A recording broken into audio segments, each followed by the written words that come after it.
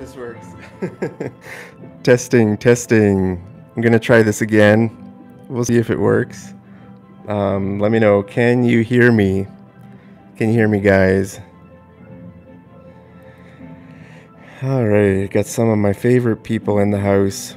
Thank you guys for joining me for another attempted live video. I don't know why I'm having so much technical difficulty here with these live videos. So I'm just going to let it settle for a couple minutes. Just listen to some nice music here. And um, yeah, hopefully, I don't know what the issue is. Some people could see me clearly, some people couldn't. Is that my internet? Is it your internet? Um, but I'm just going to chat with you guys here a little bit. Um, how's the audio quality? Do I sound kind of like. Does my voice sound clear or is it a little bit muddy? Um, yeah, you know, the last time when I was when I tried to go live for the first the first video, um, man, that music is really loud. Where's my remote? I need to turn down the volume. anyway, it's okay. You can hear me. Um, so the first time I tried to use a program on my laptop that was uh, it, it, I don't know, I didn't understand it, but the audio got really messed up. So is my audio better than the last video? I hope it is. Because this microphone, it's a good microphone. Um, so it's not the microphone's fault. It's it's technology's fault. and I don't understand technology. If you ever get frustrated with technology, you just think about me because my whole life is based on technology, right? I mean, this is how I make my money. This is how I live. I live on technology. Guys, nothing's working right for me today. All right. Drop my phone, drop my teaching stick. All right. Guys, wish me some luck. Thank you so much for uh, for sticking with me. So, yeah, um, nice people in the comments are saying. Okay, so people are saying the video and the sound are good. Um, it's maybe better. I don't know, guys. I'm trying hard here. So thank you for thank you for sticking with me. And uh, I'll start again. I'll start the video again. Um, the first one was a little bit something some we had some technical difficulties. So in case uh, we got some new viewers, then uh, it'll be surprise. The first vocabulary word will be a surprise. All right, so so like I said, we're going to learn some animal vocabulary. All right, five seconds left. Three, two, one. All right, here we go. So in this video, we're going to watch some some animal videos and try to describe. Okay, uh, so I want to test your vocabulary about animals. This isn't just kind of normal everyday vocabulary, right? We're talking like pretty specific words. So I think you're gonna, I think you're gonna learn a couple new words, right? So let's watch the first video here. And uh, I want you to describe what is going on here. How would you describe this scene? Well, I'll tell you. Okay, this thing here, this thing, whatever it's made of, cement, concrete, bricks, I'm not sure. This is called a bird bath. Okay, so yeah, it's a bird bath. Now, this part of the bird bath is kind of a fountain, right? So the water is kind of, you know, coming out here, and birds just love this kind of a thing. So if you come to Canada here, you'll see very often people will have a, a bird bath in their yard, in their backyard, probably, you know, just just to attract birds. And um, it's it's really nice, right? Birds love taking baths in water. So that's the first word, bird bath. Did you know it or did you not? All right, are you guys ready for the second one? I'll just uh, just read a couple comments here. Someone said birds having a shower. yeah, you could say they're, they're kind of having a shower, but that thing is called a bird bath. So the birds are taking a bath in the bird bath, right? All right, so um, someone's asking, hey, Mark, how have you been? Well, I'm uh, doing great. Yeah, thank you so much. I've been doing well. It's really cold here in Calgary this week. Last, uh, maybe about the last 10 days or so have been really cold, like minus 20, minus 30 well, not minus 30 in real temperature, but, you know, with the wind chill here in Calgary, you know, the other day, yesterday, I can't remember if it was yesterday or two days ago, I went outside and uh, it was freezing. And I looked on my phone and it said it, it felt like minus 31 degrees. But the real temperature was only minus 22.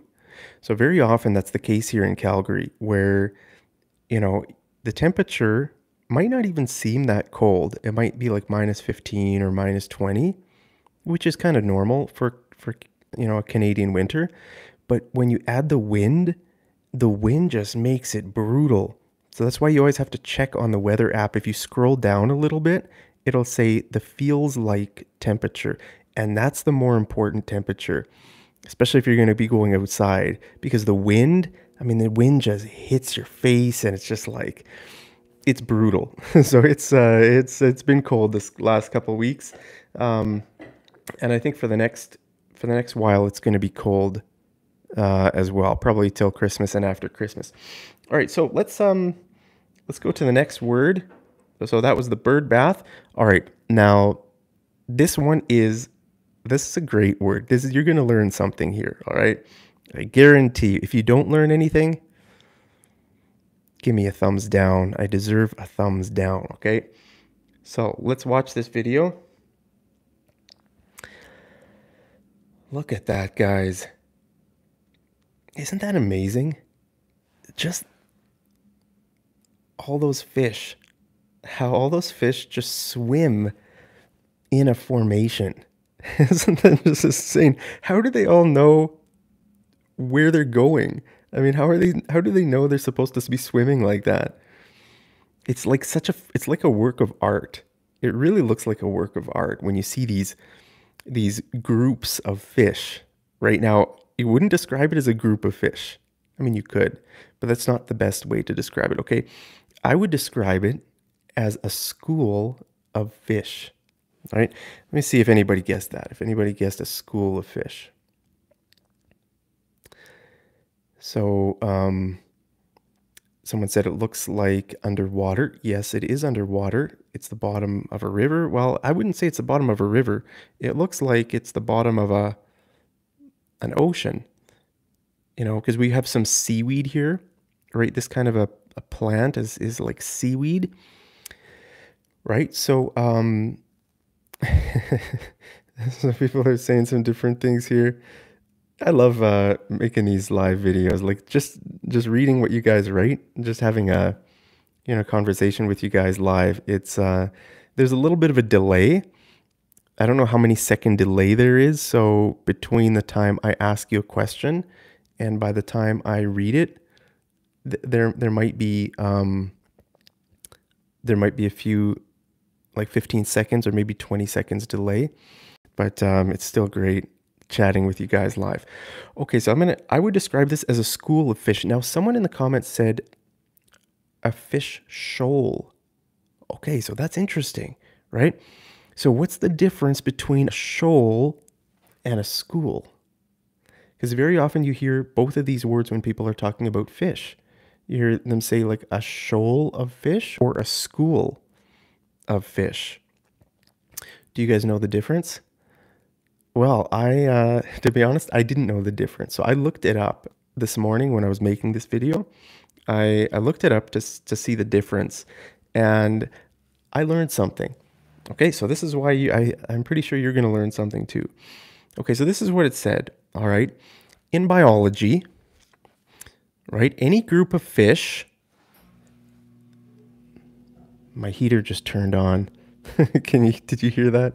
so in here in, in, in Canada, houses have central heating, and uh, it's kind of annoying if you're trying to make a video like I'm trying to do right now, and suddenly it's like, zzz, like the, the, the, the, the furnace, my furnace room is right there. The furnace like kicks on, and then uh, it blows hot air throughout the house through the vents. It's called central heating. So when it's cold outside, like it is now, I don't know what it's out now, like maybe minus 20, minus 30. When it's cold, the, the heat just comes on. It kicks on. We use that we use that verb kick. If something kind of switches on, you can say the heat kicks on. If it's really cold outside, the heat kicks on every few minutes. So, um, but anyway, I'll try not to get distracted by the heater. So, in biology, any group of fish that stay together for social reasons are shoaling. Okay, so a group of fish that are together, you can describe that as a shoal of fish. Okay, and if the group is swimming in the same direction in a coordinated manner, they are schooling. Now, I got this directly off Wikipedia. So I can't be lying, right? Everything on the internet is true. You know, whatever you read on the internet is true, right? So I believe it. This came directly from the internet. So it must be true. And you know what? There's another aspect of this word school a school of fish. I think if it's a school of fish, they're all the same species of fish. All right. So, I mean, most of the time people hang out or not people, well, people too, but um, animals and creatures in general hang out with their same kind, right?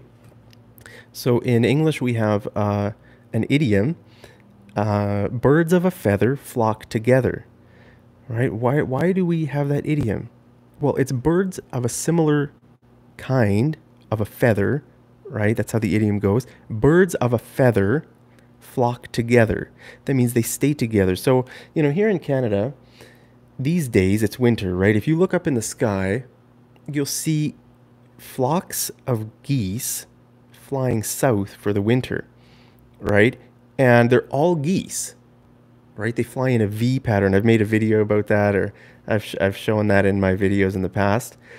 So you look up in the sky and you see these flocks of geese. They're all geese. You don't see like a few ducks in there or a few parrots, you know, or a few finches, few ostriches. Now you don't see. You just you all you see all geese. Right. So birds of a feather flock together. So we could use that idiom to describe fish too. We could say, you know, birds of a feather flock together. Fish of the same species are they, they generally hang out. So when you see these cool like you know this it's almost like artwork. It's like a display of art right? When these fish are just like millions of fish are like swimming in a form, formation they're usually all the same kind of fish. You don't see a bunch of like you don't see like some sharks some goldfish some tuna fish puffer fish i don't know different kinds of fish. They generally don't hang out with each other right? So um so that's an aspect of this word school as well. So when fish are in a school, they're moving in the same direction in a coordinated manner. That's so interesting how fish coordinate with each other. Um, and they're usually the same species. Okay, so that's what I learned this morning. Uh, let me know, did you learn that as well? Um, so hopefully everything is still going well with my video here. Should keep my phone right up here on my knee just to make sure if the video suddenly stops like it did the first time I tried this. I don't know why it stopped. Okay, so um, let's go on to the next one. Uh, now, oh yeah, I was just going to show you guys again. Like they all look the same. They look they look this like the same kind of fish, right? Um, you don't see a bunch of other kinds of fish. Now, there's one fish here, and this fish looks a little bit different, but um, most for the most part, they're the same species of fish. All right. All right. So, um, oh, now this is beautiful, guys. So, watch this video and uh, let me know what's going on here. What do you see?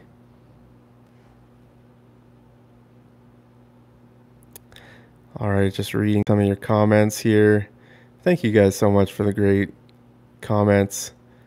Um, Yeah. So, what's your answer here? What's going on? You see a bunch of things swimming around. What are these? What's the word for them in English? Well, I'll tell you, okay? Right here, we see a bloom of jellyfish swimming around. Are they swimming or floating? I don't know. You can use either word. Okay, a bloom of jellyfish. Did you know that? All right, so we're going to go here, and uh, that's how you describe. You can describe a, a group of jellyfish. Okay, you can describe it as a bloom, or a smack, or a swarm. Now, this is something else I learned this morning. I was just thinking about what to teach you about animals. I thought, let's make a fun video about animals as my second live stream. And uh, I thought, what is a group of jellyfish called? And I thought, I, I, I don't know what a, a group of jellyfish is called. So I looked it up. All right. So one of the confusing things about English is that every animal, every different kind of animal has its own name for a group. You can use a, the word group if you don't know the specific name. Like you could say a group of geese. But anytime in English you can use a more specific word, it's better. So it's better to say a flock of geese, right? Or a bloom of jellyfish, or a smack or a swarm. So you can use three words, I guess. Some animals, maybe there's not just one word. Um, so, do you know what these words mean? Uh, they have other meanings.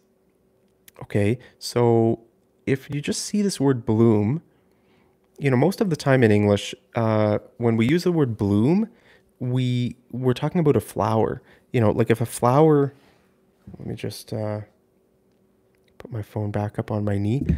Whoops, try not to bump my microphone. If a flower blooms, right? It uh, it's it's like it's coming to life right? It's, uh, it's first it's a bud, and then in the springtime, right, the bud turns into the flower that's called blooming.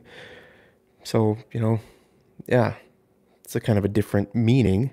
One is talking about jellyfish, another is the more common one is talking about flowers, right? So this word uh, smack, this is a funny way to describe jellyfish. I don't know why on earth, who came up with that? A smack of jellyfish. Do you know what the word smack means? Um, the word smack means to hit with your hand, to slap really fast. Um, it's like another word for slap, right? So if you smack someone, you know, you smack them in the head, and very often we use we use the back of our hands to smack. So when you see this word smack, meaning to hit, very often it's with the back of your hand, like smack them in the head, right? Maybe uh, if a kid is misbehaving, you know, maybe the parent will say, "Stop it!" Smack them, smack them in the head, right? So that's what that means. Um, swarm. Now, I don't like this word because you know what it reminds me of? It reminds me of a swarm of flies or a swarm of mosquitoes. We use that word to describe a group of flies or a group of mosquitoes. And I hate mosquitoes and I hate flies. Right? So um, that that can also be a verb to swarm together. Right? So um, you could say like the the enemy army swarmed in on our position. You know, if you're if you're in like a town or city or something like that, and and uh, all the enemy armies are swarming in, like just they're like coming in like flies or like mosquitoes, right? So that's what that word means. Something's going on with my teaching stick, guys. There we go. so, um, so those are three ways you can describe a jellyfish bloom, smack, and swarm. You know, very often in English, words have so many different meanings. Like before this morning, I had no idea that this word smack could be used to describe jellyfish. And uh, I had no idea this word bloom could be used to describe a jellyfish. Right? So, you know, very often, you know, maybe know one meaning of a word, but you don't know all the meanings. so, hey, don't worry about it because even native English speakers don't know. So, like I said, this morning when I woke up, I did not know these two words could, or even this one, could be used to talk about jellyfish. So, I learned something this morning. I'm proud of myself. I learned uh, some English. See, I'm always learning English too. All right, so let's go to the next one. Um, let me just take a just take a quick break to look at the. Um, so someone is saying the video is blurry again. Now, guys, I'm not sure why that is the case, but um, hey, we'll just uh, hope for the best.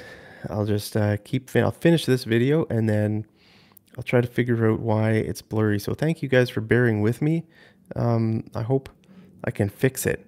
if you're a if you're an expert on uh, technology, let me know. I don't know what's going on, but um, so guys, thanks for all the positive comments.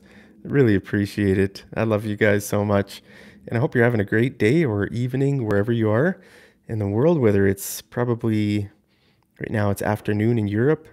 It's probably getting toward evening in uh, in Asia. Probably what? Yeah, getting to bedtime probably in the Far East, like uh, Vietnam, China, the Philippines, those countries, it's probably bedtime. So thank you guys for staying up late to join me in this live stream. So let's watch this video. Now, this is another animal, interesting animal. Now, you probably know the name of this animal, right? This animal is a snail. Okay, now what is the snail doing? What is it doing? The snail is, can anybody guess? In the live stream, yeah, you guys are right. It's uh, it's uh, it is a snail. So someone said a snail with a fashionable striped house. so that's the snail's house there. You can describe this top part as the snail's shell. Okay, that's the, the, the shell of the, the snail. And the snail was slithering.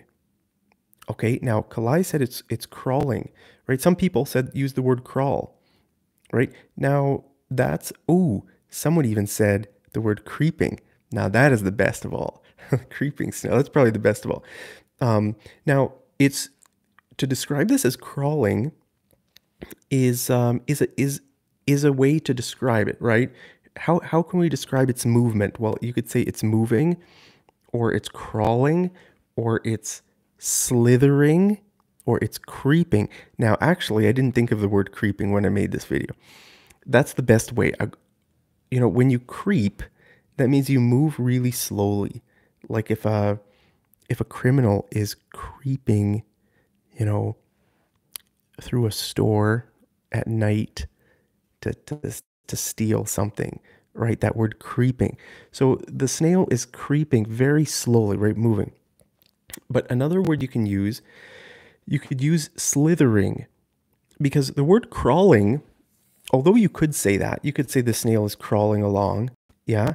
But um, when we use the word crawl, it usually involves legs, right? So for something to crawl, they kind of have to have legs um, most of the time. So you could say like the centipede is crawling along, right? Any kind of like small insect, right? They they're like sometimes insects are called creepy crawlies, right? Creepy crawlies. So anything anything like insects or spiders or uh, all these kind of little insects, right? They're creepy crawlies, creeping and crawling, you know. But for a snail, you know, a snail kind of moves in a little, in, in a way like a snake. Like a snake, right? A snake doesn't crawl. A snake slithers because snakes don't have legs, right? So anytime the, the kind of the, your body is on the ground, you're, you could kind of describe that as slithering. So the snail is kind of like slithering. Now, maybe even slithering isn't a good good word because to kind of to the idea of slither kind of means like a snake to kind of wind back and forth, right? So I don't know, guys. I think I would say whoever guessed creeping, that was probably the best uh, the best word of all, creeping. So great job, you guys. Your English is um, is great, you know. And someone said the snail is creeping on its slimy belly.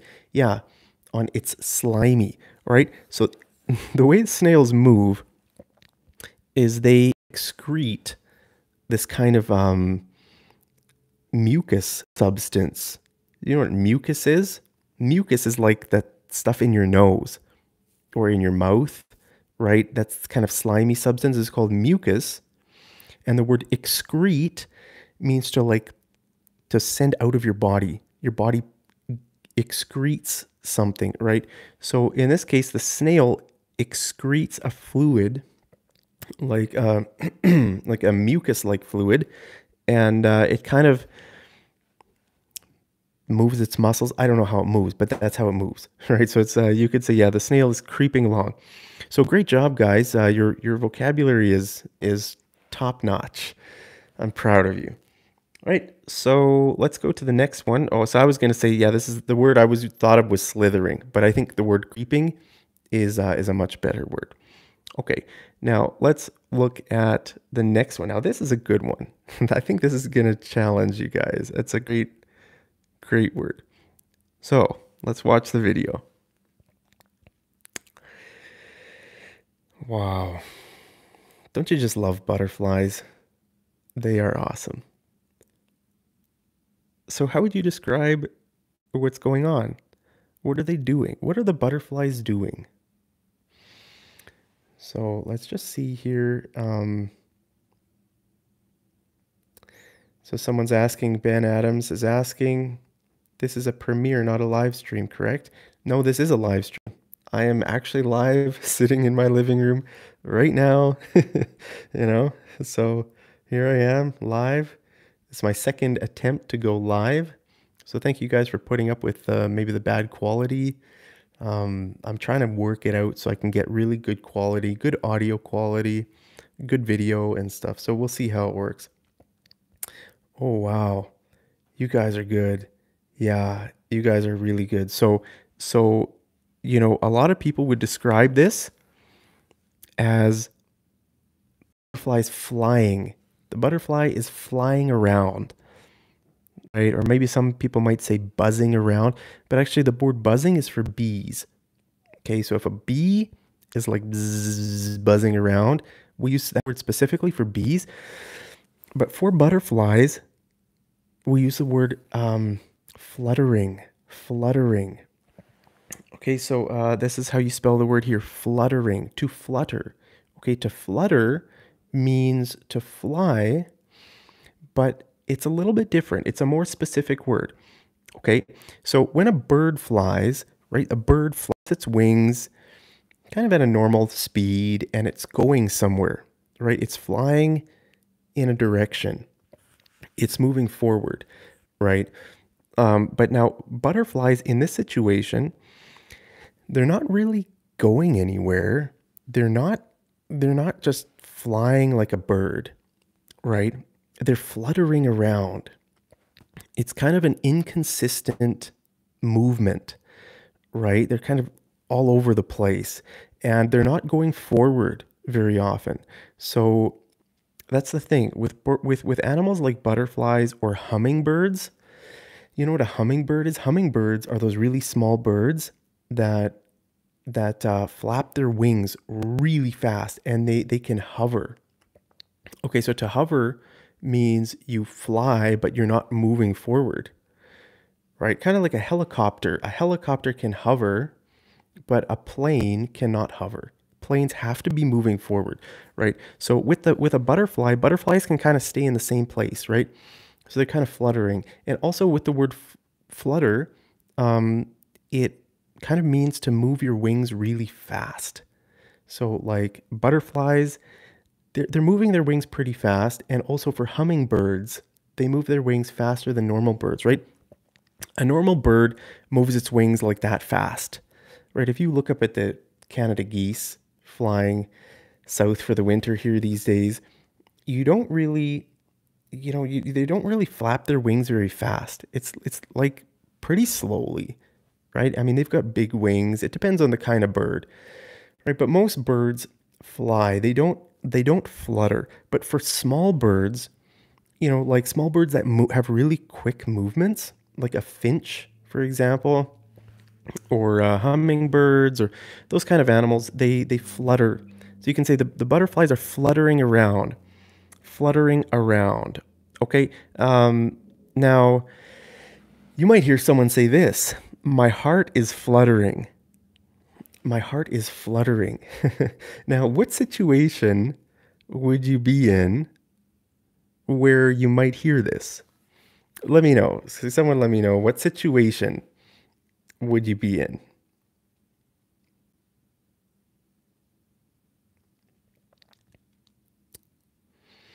All right, just waiting for your guys' answers here.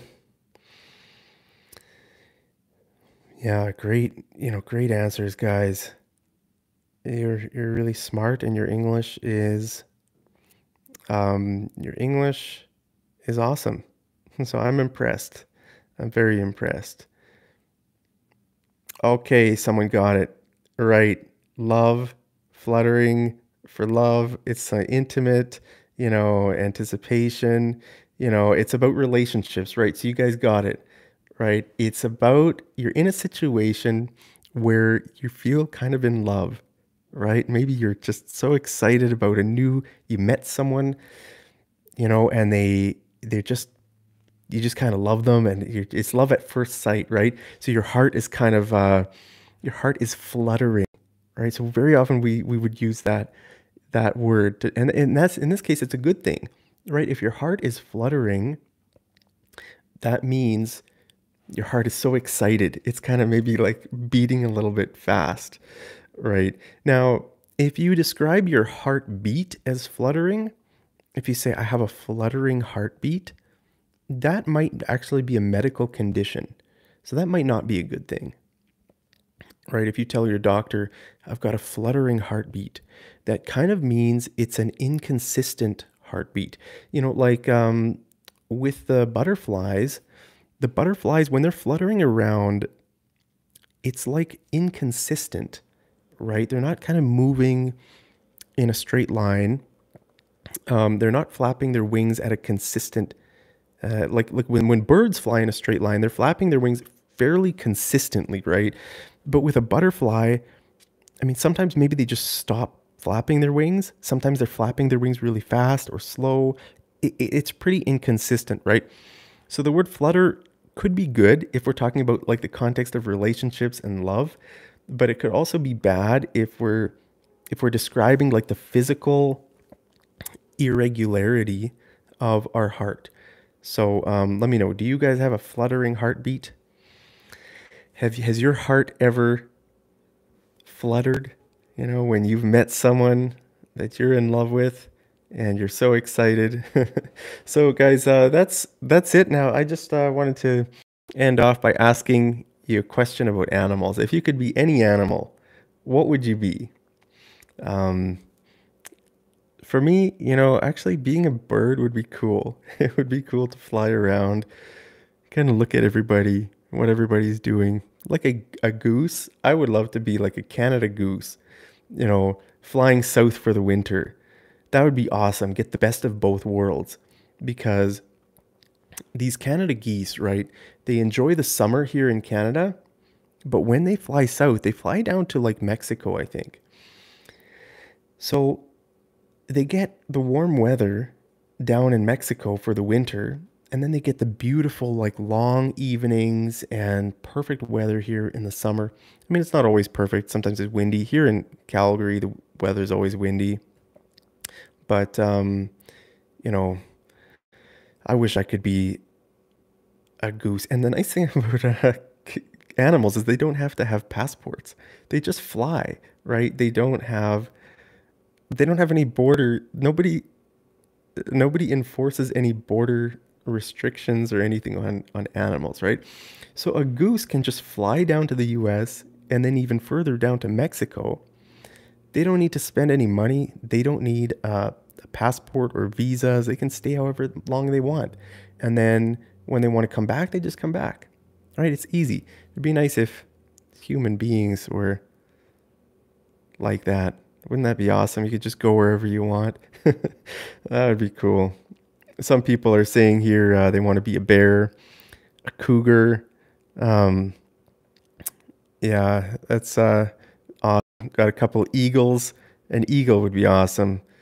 You know, e- eagles are one of those animals that everybody loves, right? There's on so many flags around the world. There's the eagle, eagle, like the Albanian flag is the the eagle. You know, eagles is a an eagle is a a symbol in Germany.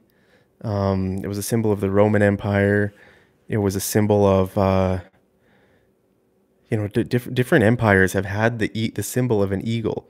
So in the U.S., the bald eagle is a, is a, is a like their national bird, basically. You know, here in Canada, probably the Canada goose is the most common kind of bird. Well, the, the bird that would symbolize Canada. Although on our loonie, on our $1 coin, it's not a Canada goose, it's a loon. A loon, that's why we call it a loonie. Um, so, so anyway, yeah, there's a lot of different birds. I love birds. Yeah, animals are awesome. I love animals.